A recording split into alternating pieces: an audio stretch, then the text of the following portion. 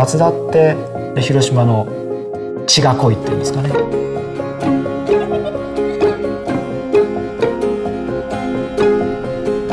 だから普通考えないようなことでもやるんですよね。難しいものがあったら取り組んじゃう。例えばロータリーエンジンを量産化したと。その当時ロータリーエンジンっていうのは夢のエンジンってまあ言われてたんですよね。小型で軽量でハイパワーと。このロータリーエンジン作ってるっていうのはマツダだけなんですよね。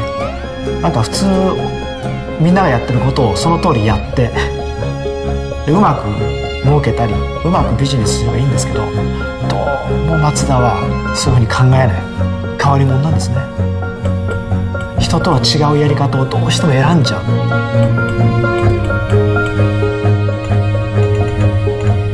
24時間ずっと走り続けて壊れない。誰よりも長い距離を走れるんだ。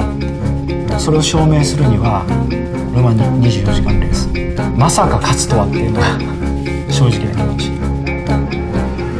深稲田精神っていうのは決して諦めないとか突き詰めるとか英語で言えば can do ですね。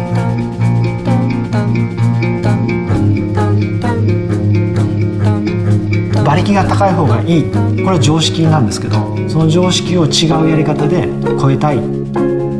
スポーツカーはライトウェイトスポーツ。に限るっていうのが我々の考えです。だから300馬力出なくても250馬力。250馬力でも300より速い。コーナーのあるサーキット。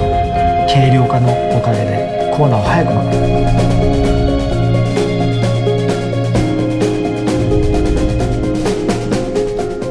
未来は燃費もちゃんと解決しないと走って楽しくないですよね。だから技術開発もそのことを考えてエンジンの燃費を世界一にするということにこだわってるんですよ。軽くてちっちゃなエンジンと軽い車体とすごくかっこいいデザイン。これを合わせればまた新しいスポーツカーの価値生まれそうな気がしますね。変わらないことはね挑戦し続ける。いろんなことに挑戦をする。